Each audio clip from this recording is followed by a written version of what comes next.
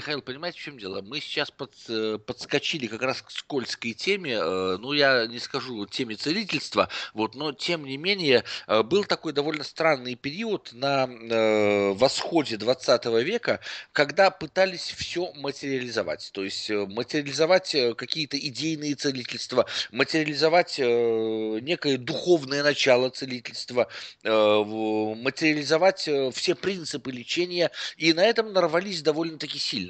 Э, я хочу вам напомнить опыт, эм, в данном случае я немножко отвлекся от темы, наверное, но тем не менее был такой Богданов Александр Александрович, если помните, да? Вот, а, который, нет, который, нет, кстати, не помню. Э, который был абсолютно уверен, что человек может жить вечно, если ему можно, если ему переливать кровь. Вот на этом, в принципе, и погорел. Вот, но у большевиков это был как бы самый главный ученый, пока сам не умер от переливания крови, потому что он не учил резус-фактора. Вот, а резус-фактор не знали, в принципе, это было, по-моему, в 46 году был открыт резус-фактор, и тогда уже поняли, как надо переливать кровь но тем не менее был абсолютно уверен, что если перелить пожилому человеку кровь от молодых, то этот человек может жить вечно. Э, никто не учитывал, сколько нужно забрать крови у молодых. Это такая большевистская идеология. Вот. Но, тем не менее, э, Богданов э, так считал, он был одним из больших друзей луначарства. Вот, и абсолютно принимал к себе то, что если вот только вот стоит нужному человеку, правильному человеку перелить кровь, там, не знаю, от молодых мальчиков, то этот человек будет жить вечно и будет работать на благо революции продукции. Вот такие вот идеи странные. Да, вы знаете, я общался с одним тоже очень известным человеком, я его уже упоминал, у нас было несколько программ, э, которые я с ним провел. Это Игорь Иванович Ветров, ныне покойный, год тому назад он умер. Но он рассказывал, оказывается, в Соединенных Штатах, я этого не знал, э, был целый проект, который был не афишировался. А, я не помню сейчас деталей, но он э, с точки зрения медицины это все объяснял и все рассказывал. Я попробую это все найти. Но был, не знаю, Ярослав, это слышали вы или нет, а, но был э, проект, э, где, ну, можно аналогию провести с переливанием крови, когда старцам, кстати, таким же э, русским старцам. В, знаем, в, да. в данном случае уже я не слышал, да? Не слышали, окей. Так вот, им э, делали какие-то э, операции, если можно сказать операции. А, причем действительно я не помню, то это были какие-то там на генном уровне. Я найду, я попробую найти, потому что мне самому стало интересно. Но я слышал, это было просто совершенно невероятно. На, э, этот проект закончился, он как бы был ну, чуть ли не засекречен. Но очень известные люди, кстати, очень известные люди участвовали в этом проекте старцы, э, бизнесмены, которые могли себе позволить, поскольку эта э, процедура была очень и очень недешевая. Это стоили, конечно, там миллионы, но после этих операций, причем они не были такими уж, э, как бы, с точки зрения медицины там было все в порядке. И не было такого, что какого-то непонятного, какие-то там чудо как типа э, Распутину там э, пили, там э, тоже, кстати, он принимал участие в этом, как, какой-то чудо-эликсир э, и так далее. Ну, ну та, та, там, там при нем был Бадмаев, так честно говоря, тибетский целитель, опять-таки, да. Мы возвращаемся к теме целителя, потому что Бадмаев, много очень сплетен, много слухов по этому поводу, но, тем не менее, многие считают, что Бадмаев подмешивал как бы Распутину некие эликсиры, которые чуть-чуть лечили царевич Петровича Алексея, и за счет этого влияние Распутина на царский двор было совершенно грандиозным. То есть, э, как бы говорили, что не сам он целил, как он мог целить руками и взглядом, вот, а тем не менее Бадмаев, э, известный медик в области, ну, как бы медик по тому времени, да и, да и сегодня он бы считался медиком в области тибетской медицины, вот, э, тем не менее давал ему какие-то определенные травы, какие-то определенные смеси,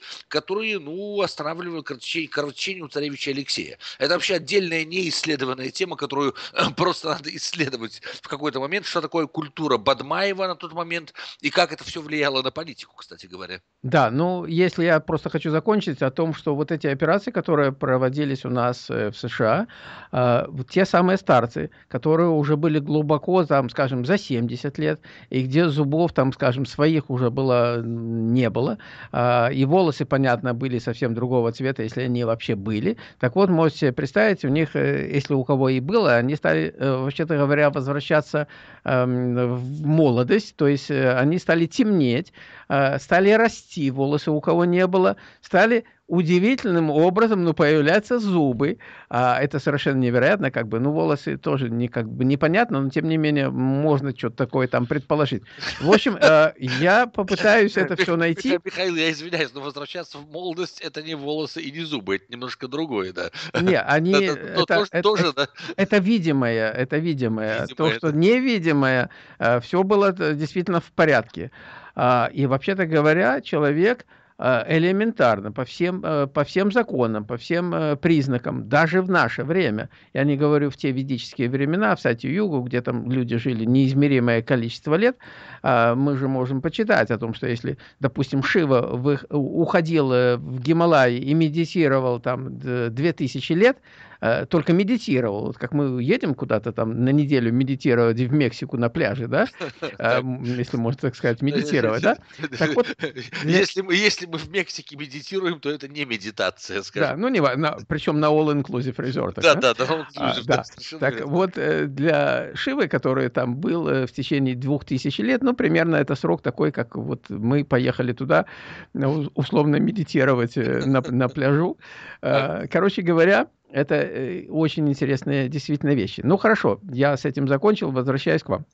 Да, это на самом деле это очень условная медитация, да. Э, так вот я почему говорю о Богданове, почему начал я о Богданове, вот и о том, что большевики как бы э, во главу угла ставили не медицину тради- традиционную, как она сейчас называется, вот, потому что не было средств ни на медицину, ни на лекарства, ни на лечение, там в году так 19-20, вот. Но тем не менее, вот тогда была гигантская совершенно ставка именно на целительство, что поразительно. Э, нигде, никогда в истории так не развивалось целительство, как при большевиках с 19 по 21 год. Потом все немножко изменилось. Вот. Но тем не менее, вот именно тогда вот эти вот идеи, причем идеи, перехваченные от царского двора, почему начали с Андрея Папюса из, эм, из э, Григория Распутина, вот эти вот идеи настолько четко перенеслись на новый проект, на проект нового государства. Государство, конечно, было паршивое, оно истребляло людей просто миллионами, вот, но тем не менее вот эти вот идеи очень четко легли. Э, если мы говорим о философском так называемом пароходе, когда 121 э, философ, писатели, поэты были высланы из Советской России, э, там не было ни одного врача, на самом деле. Врача, я имею в виду не врача традиционной медицины, я напомню, что все-таки Одного из них расстреляли с царской семьей вместе, и только внучка спаслась, потому что не поехала, потому что какой-то э, честный чекист ей сказал, что не надо туда ехать, не надо ехать в Екатеринбург. Вот. Ну и вот таким образом она до нас донесла некоторые последние э, детали отъезда царской семьи э, в Екатеринбург. Вот. Но тем не менее, тем не менее, мы говорим о том, что вот эта вот традиция, она перенеслась, и она вот такие вот странные рождения вот этой традиции целительства с 19 по даже по 21 год это просто всплеск, ну, на самом деле, в советской России, у которой нет ни лекарств, у которой нет ничего, которая все разрушила предыдущее и ничего не построить, э, не успела построить свое. Э, и вот э, на этом фоне сегодня, я почему об этом заговорил, потому что на этом фоне сегодня говорят, что шарлатанство – есть такое клеймо, такое шарлатанство, да, не только по поводу целительства, а по поводу того, что эти ребята служили коммунистам. Что довольно забавно, кстати говоря, они на самом деле служили коммунистам очень активно, э, там, где не было медицины, вот, но тем не менее вот это клеймо прилеплено и все. Э, ты кто? Я натуропат. Э, а, ну понятно, в, в Компартии состоял? Нет. Э, наверное, не состоял. Но даже если не состоял, тем не менее, вот если вот такие вот натуропаты, которые говорят на русском языке, сегодня появляются здесь, то к ним уже лепится вот это вот клеймо, ну, коммунисты, не коммунисты, скажем так, но тем не менее, власти на тот момент, вот, который сбежал от власти в следующий момент, когда их преследовали, а преследовали довольно активно, это уже в брежневские времена, ну, начиная с постхрущевских, скажем так. Вот. И эти ребята, естественно, уехали сюда, в Соединенные Штаты Америки, ну, не только сюда, э, в Европу, в Израиль, э, куда угодно, чтобы от этого избавиться. Вот я просто говорю, что эта культура иногда зависит от того, как к ней определяется власть. Если эта власть не такая, как сегодня в Соединенных Штатах Америки, которая, в принципе, позволяет всем, возьми лицензию, убеди людей, что ты правильно действуешь, это самое главное, да, ну и получи свою лицензию и работай дальше. Да, да, ну все правильно. Ну хорошо, так э, если мы все-таки переходим к нашим современным целителям, потому что, ну я так полагаю, что сегодня людям, ну э, интересно может быть, но это все теория, знать о том, что вот были такие известные целители, ну, вообще, начиная чуть ли не с Иисус Христос, который исцелял людей просто одним прикосновением, ну и заканчивая, если не заканчивая, а продолжая, там, я, опять же, да, Серафима Саровского я, там, да, и так далее. Я, я смею заметить, что первое чудо Христа – это превращение воды в вино. Превращение воды в вино, ну, на это тоже были какие-то основания. Наверное. Э, да, наверное, было. Но, тем не менее, он это делал, и э, сегодня есть последователи, если можно так выразиться.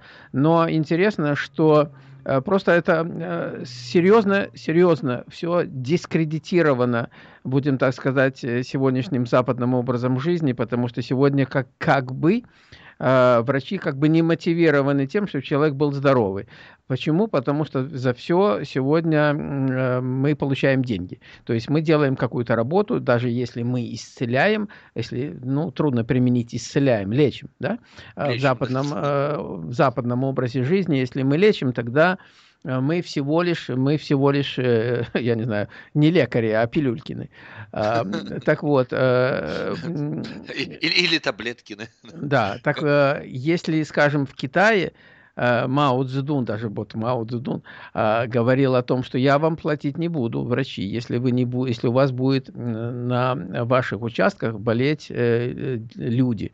Так вот у нас выступает, я уже упоминал, такой врач из старой плеяды русских врачей, Э, которого зовут Борис Увайдов. Он сейчас находится, если не приехал, э, в Москве. Его пригласили, несмотря на то, что он здесь проживает уже 35 лет, и я говорил о том, что он работал э, на грани... за границей, точнее, Соединенных Штатов, на территории Мексики, и там был очень серьезный, и есть очень серьезный институт и клиника по лечению раковых заболеваний. Более того, он даже выпустил книгу совершенно официально «Победа над раком», которая называется. Так вот, э, его учителем он считает был, э, если мы уже говорим про, вы упомянули большевиков и так далее, э, был такой академик Залманов. Он его считает своим учителем, и вот этот академик Залманов, в общем-то, он лечил Ленина и лечил даже Сталина. И это тот, эм, из, опять же, из той плеяды действительно настоящих врачей, которые лечили не пилюльками и не таблетками. То есть, я извиняюсь, Ленина залечил по приказу Сталина, а Сталина лечил дальше, да? Потому что там довольно странная история. Это, это как-нибудь, ну, это тема для отдельных трех программ, наверное, да. Что произошло на стыке 24 года? Да, ну, во всяком, случае, да. во, всяк, во всяком случае, так оно и было. Ну, вот э, еще раз, мы посмотрим, как эм, сегодня встречусь я с нашим э, экстрасенсом, или как он там, Energy Healer, э, энергетическим целителем, э, вот этим корейским, его зовут Муджин. А, кстати, он выступал у нас в Чикаго на единственном некоммерческом радио. Вы знаете, о каком радио я говорю. У нас есть некоммерческое радио в городе Чикаго. А, и он там выступал. Э, некоммерческой программе он рассказывал о целительстве. То есть это было как раз-таки тематика на английском языке, естественно. Э, то есть это была программа э, сопоставления, скажем, вот той восточной культуры целительства, если можно так сказать, и западной не культуры лечения. А, и он об этом рассказывал. Ну и было, в общем-то, довольно как бы интересная была реакция, поскольку люди действительно звонили. Э, и ну вот сегодня мы посмотрим, как он там э, лечил этих э, в госпитале тех людей, которых как бы энергией лечить нельзя. Посмотрим, спросим. Ну, здесь самая главная реакция людей, по большому счету, да, потому что если пациент отзывается и дает положительные характеристики доктору, в данном случае доктору, э, то, наверное, это и есть э, самая лучшая оценка доктора, потому что все равно, все, всегда, насколько я понимаю ситуацию, э, между целителем, либо доктором, либо кем угодно, кто тебе там не колет какие-то химические растворы, там, вену там или еще что-то прочее тебе запускает, самое главное – это контакт.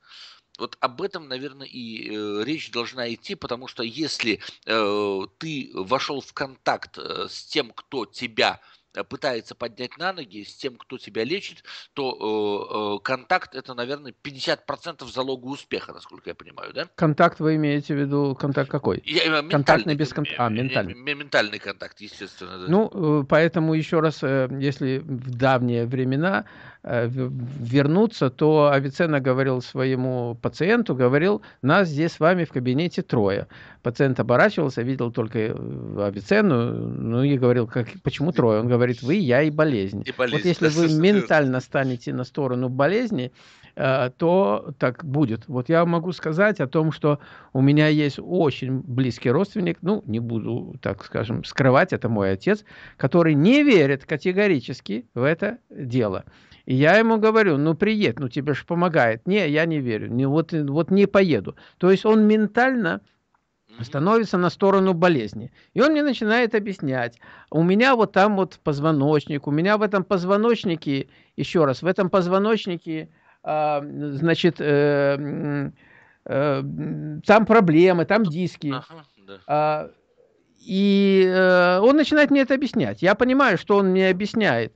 Э, но это же не имеет значения в данном случае. А если человек, то есть просто человек не понимает, как можно по-другому э, лечиться. Он вот просто не понимает. Правильно. И, а... Э, Миша, можно я на секунду перебью, потому что на самом деле все это уже проверено 125 раз на эффекте плацебо. Вот эффект плацебо всем известен, все его приняли как бы как должное, все приняли его по исследованиям, но ни одна официальная медицинская контора вам сегодня не скажет, что эффект плацебо это хорошо. То есть вам дают одну таблетку, которая помогает реально, вторая таблетка, которая составлена там, не знаю, из сахарина, из сахара, из чего угодно, да, но вы воспринимаете принимаете ее как другую таблетку, и эффект плацебо начинает работать. То есть вы сами поняли, что вы приняли лекарство, которое вам сейчас поможет, хотя оно ни от чего никаким образом не помогает. Вот это совершенно потрясающая вещь, от которой сегодня медицина, традиционная, так называемая традиционная сегодняшняя медицина, не может отказаться, но тем не менее эффект плацебо работает до сих пор. Эффект плацебо работает, но тут надо знать еще некоторые вещи, которые западная, не, не только медицина, западная философия вообще не приемлет. Но. То есть я говорю о том, вот скажем так, э, мы приехали в госпиталь Джановгад. Э, мы туда приехали. Первым делом у нас есть ориентация. По вторникам ориентация. Ну, вы знаете, мы туда возим людей. Ну, не мы, я не вожу туда никого, но мы официальные как бы гиды. Если люди хотят поехать туда, то мы имеем официальное благословление Джианов Гад э, привозить туда людей. А, и вот мы туда приехали. Во вторник есть такая orientation, ориентация того, что будет происходить, поскольку приемные дни среда, четверг, пятница. И вот на этой ориентации. И дальше, когда мы туда приходим, нам всегда говорят, если вы хотите выздороветь, если вы действительно, ну хотят как бы все только вот заставить себя поверить в то, что делать для этого э, нужно, они не могут. Если вы хотите выздороветь, то вы должны не только изменить свое сознание, не только изменить свою жизнь. А, два момента. Первый момент, когда Ельцину делали аортокоронарное шунтирование, или там байпес, как теперь это называют, то Майкл Дебейки, который... Так делал, Дебей, Дебейки делал, да в том-то все и дело. Да, Майкл Дебейки, который уже тогда был старенький, но а, он сказал, что я хочу только Майкла Дебейки. А, он самый-самый признанный. И вот он приехал туда, сделал ему операцию, и все прочистил, все было классно, Ельцин такой весь из себя счастливый. А он ему говорит, ну, батенька, вы же понимаете, что к этому что-то привело. Вы же понимаете, если вы не измените свой образ жизни, то следующий сигнал будет гораздо сильнее. Но человек так устроен, пока, так скажем, не грянет, то, понятно, никто не перевернется. Мужик, мужик а, не прикрестится, но да. дело, дело не в этом.